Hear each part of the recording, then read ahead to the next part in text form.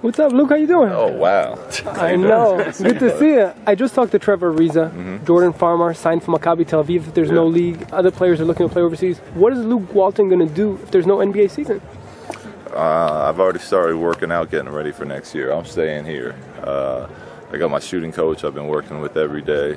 Um, trying to get my jump shot to look more like Dirk, even though some people laugh when I say it. Uh, Bob Thate, uh, this guy I started working with again last year. But uh, that's my main thing is just to get ready for the NBA season when it starts again.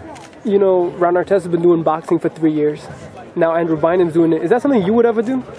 Uh, I, I, I did it back in college. Um, Really? It's a great workout, but unfortunately, with some of the injuries I, I've had uh, the past couple of years, I gotta really, uh, really stay focused on what type of conditioning and workouts I do in the off season, and, and boxing's not one of those.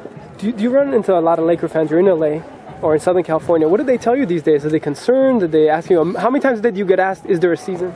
A lot, and uh, my answer is always the same. I hope so. Uh, you know, if there's going to be a lockout, I would have rather come after one of the years that we won the championship. So, uh, you know, I've seen a bunch of the guys, and we're hungry to get back out, out there.